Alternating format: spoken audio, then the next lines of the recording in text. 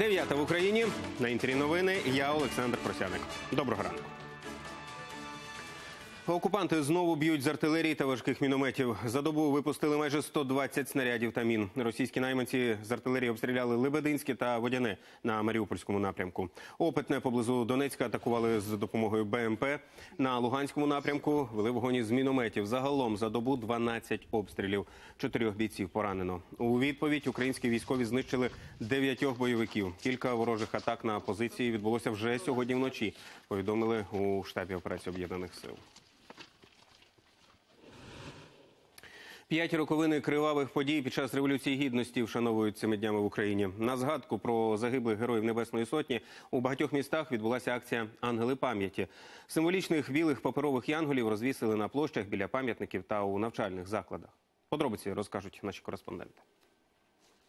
У Кропивницькому близько ста людей взяли участь у акції Ангели пам'яті. Громадські активісти та небайдужі містяни з дітьми розвішали на деревах у центрі міста білих паперових янголів. Їх напередодні власноруч виготовили учні молодших класів 16-ї школи. Крім того, учасники акції прикрасили дерева жовтими та блакитними корабликами на знак підтримки військовополонених українських моряків.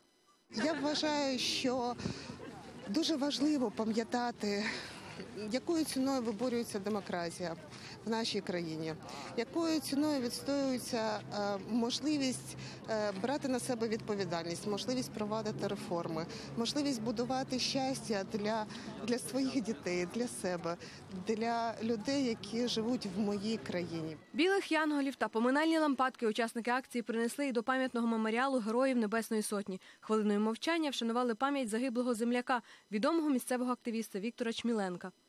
А в Чернівцях ангелами пам'яті прикрасили одну з гімназій. Близько тисячі паперових ангеликів виготовили учні, долучилися навіть першачки.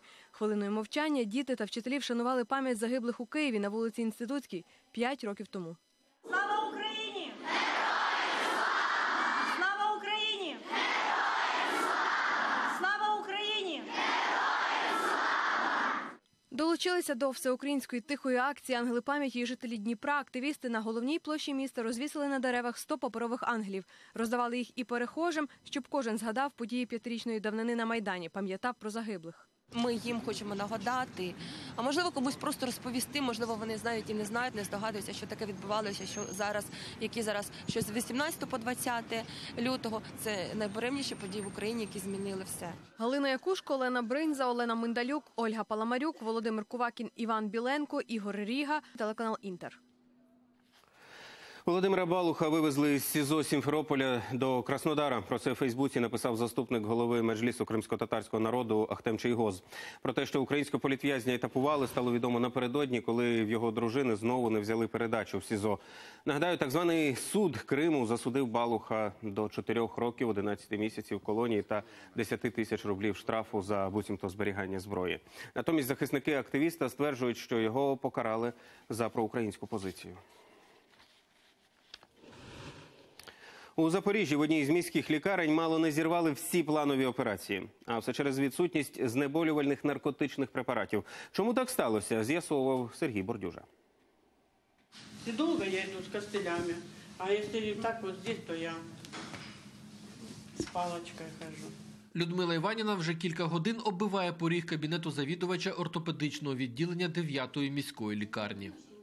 С 5 ноября я знала, что у меня сегодня операция. И вот я пришла на операцию, и мне говорят, не примем, потому что нет препаратов. Как это нет препаратов? Они выделяются заранее. Таких, як ця жінка, лише у коридорі ортопедичного відділення понад 20. Пацієнти кілька місяців чекали на операцію, в якій зараз їм змушені відмовити. А все через ось цей наказ. Наприкінці минулого тижня розпорядилися призупинити планову госпіталізацію пацієнтів. Причина дефіцит наркотичних засобів. Іншими словами, бракує знеболювальних. Куди поділися запаси, пояснюють у приймальні головного лікаря. Вы не помните, был некий гололед в конце так, января, н- несколько дней. И поверьте, наплыв был очень большой. А ось тендер на закупівлю чергових наркотичних засобів провести не встигли, і людей не попередили.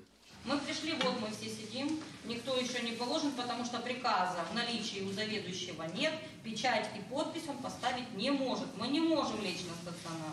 В руках у завідувача ортопедії лише один наказ призупинити госпіталізацію. Іншого каже медик, іще не бачив. Положим, ну, 20 с лишним точно. Что мне с ними делать? Мне отправить их домой? А как это? То есть это, в принципе, как бы м, ситуация, где мы отказываем людям в медицинской помощи. Доки хірурги думали, що робити з пацієнтами, які штурмують відділення, наказ поновити госпіталізацію усе ж таки надійшов. Керівництво лікарні запевняє, питання дефіциту знеболювальних уже вирішили. Простими словами, позичили у колег в інших медустановах, допоки самі не проведуть тендер і не закуплять анальгетики. Сергій Бордюжа, Ігор Воробій, новини, телеканал Інтер, Запоріжжя. На Київщині лікар запатентував метод виявлення раку молочної залози. Він пропонує проводити скринінг захворювання без використання мамографа. Докладніше розповість Юлія Касян. Два роки тому Олену у поліклініці мамолог шокував діагнозом рак молочної залози. Жінка розповідає, нічого не боліло, а тому повірити почутому було складно. Он посмотрел и сразу же обнаружил у меня онкологию. Он посмотрел просто на УЗИ, улыбаясь, говорит, да ну не может быть такого. Когда я проверила, у меня оказалась форма агрессивная. Она была, правда, небольшая, там один сантиметр был, от- был, это, был этот рак. Життя жінці врятувало те, що рак виявили на другій стадії. Якби онкозахворювання прогресувало, зміни були б невідворотними. Онкологи дуже успішні в лікуванні грудної залози тоді, коли ми маємо дуже ранній рак. І, на жаль, ранній рак грудної залози е, практично мало має симптомів, і сама жінка його рідко собі виявляє в такій ранній стадії. Для того покликані е, технології допомогти в цьому і робиться скринінг раку грудної залози. Стандартом скринінгу раку молочних залоз в усьому світі вважають мамографію. Її виконують за допомогою спеціального пристрою мамографа. Уже з липня, згідно з планами МОЗу, в Україні запрацює програма безкоштовна діагностика. А це 54 види досліджень. Їх вартість компенсуватиме держава. У переліку є і мамографія. Однак нарікають лікарі, обладнання для неї дороговартісне, і такого в Україні замало. Ці мамографи є в великих центрах, наприклад, в столиці нашій, є е, в, ну, таких великих місцях. А от віддалених, наприклад, районних центрах мамографія відсутня. Відсутній апарат мамограф. Але ми повинні проводити скринінг діагностику жінкам. Мамолог каже, альтернативою скрінінгу у місцях, де немає цих украй необхідних апаратів, є правильна пальпація фахівця та ультразвукове сканування. Лікар запевняє, так можна обстежити за день до 30 пацієнтів, витрачаючи на одного 7-10 хвилин. Згідно протоколу, ми повинні в Україні виконувати з метою е, е, скринінгу, скринінга повинні виконувати мамографію. Але в нас немає мамографії. І тому нам треба вносити зміни в протокол для того, щоб доповнити, ну, наприклад, цією методикою. Щоб, щоб у лікаря, який е, працює на первинній ланці або на вторинній ланці, була юридична можливість і підстава її застосовувати. Для цього не треба купувати дорогостоящий мамограф, який коштує десь в межах 200 тисяч доларів.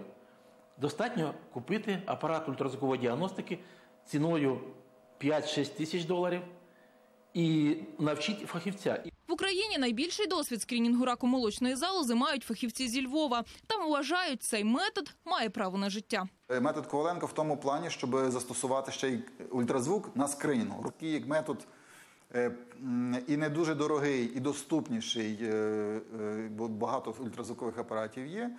Е, І в молодому віці особливо можна було застосовувати. Наразі пропозицію мамолога розглядає інститут раку. Лікар сподівається, що його метод діагностики увійде до переліку безкоштовних аналізів та обстежень у тих місцях, де немає можливості купити мамограф. Юлія Касян, Христина Гашенко, Даніель Косаковський, Сергій М'ясоєдов. Новини телеканал Інтер.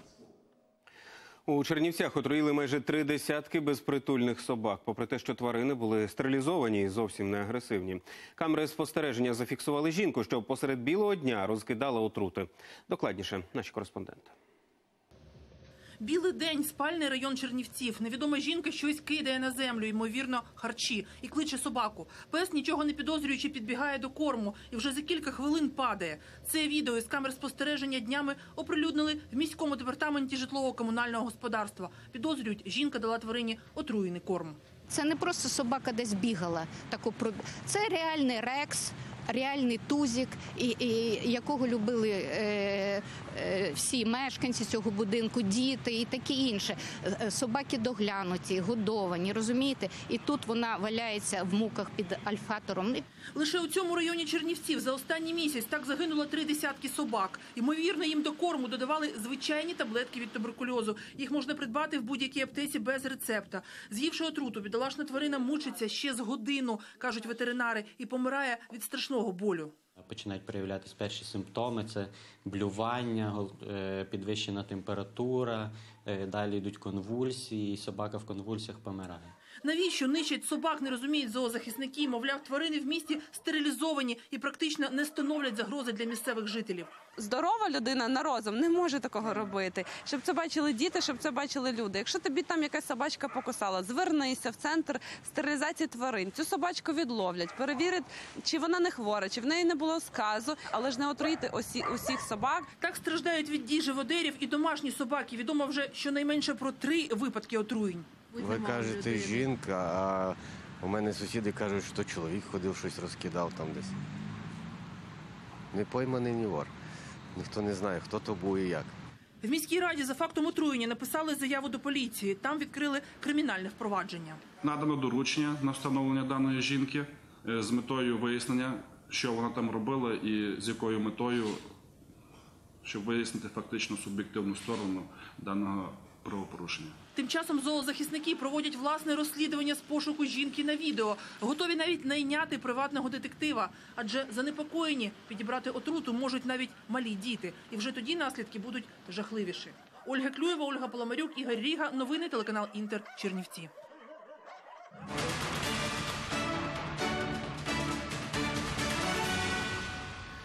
Через дипломатичний скандал між Ізраїлем та Польщею скасували саміт Вишеградської четвірки. Причиною конфлікту стали заяви виконувача обов'язків міністра закордонних справ Ізраїлю Ісраїля Каца.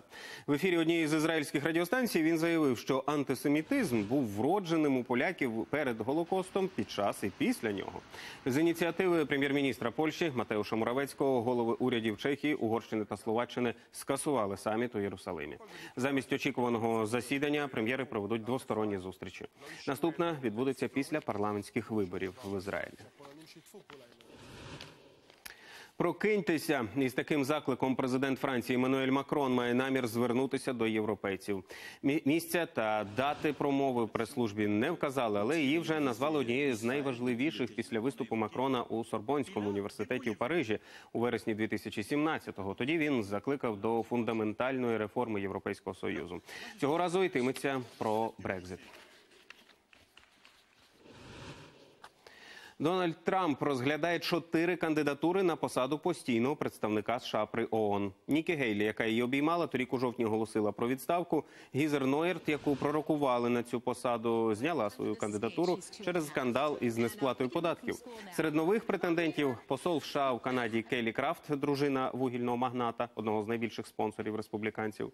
Американський посол у Німеччині Річард Гренел, колишній заступник помічника з нацбезпеки Діна Павел та колишній кандидат у сенатори від штату Мічиган Джон Джеймс.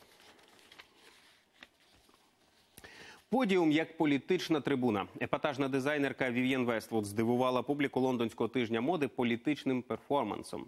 Моделі висловлювалися на тему Брекзиту, споживацтва, дискримінації та закликали боротися з глобальним потеплінням. Чому звичайне дефіле перетворилося на громадянську акцію, розкаже Оксана Гашева. Я янгол демократії. Я говорю від імені Вів'єн. Моє послання знищить силу долара, причину загибелі світу. Він руйнує світ, який ним живе. Такою яскравою заявою зірка серіалу Зачаровані та одна з головних активісток руху Міту Роуз Макгоуен відкрила найепатажнішу подію тижня моди у Лондоні фешн-перформанс дизайнерки Вів'єн Вествуд. Вона вже не вперше використовує подіум як політичну трибуну. Цього сезону її колекція особливо промовиста. Навіть сама її назва «Homo loquax» у перекладі з латинської означає говіркий. Поговорила з публікою дизайнерка на найгостріші теми сьогодення: зміни клімату, споживацтво, корупцію та навіть Брекзит. Способів висловитися через моду дизайнерка має безліч. Це і маски Пінокіо, які уособлюють брехню політиків, і промовисті гасла, і демонстраційні плакати, ба навіть пісня власного виконання. Протест проти споживацтва не тільки на показі Вествуд, але й на вулицях. Поки моделі дефілюють подіумом, поблизу вже третій день не вщухають акції екоактивістів. Вони вимагають від британської модної ради оголосити надзвичайний стан у зв'язку з катастрофічними змінами клімату протягом останнього часу.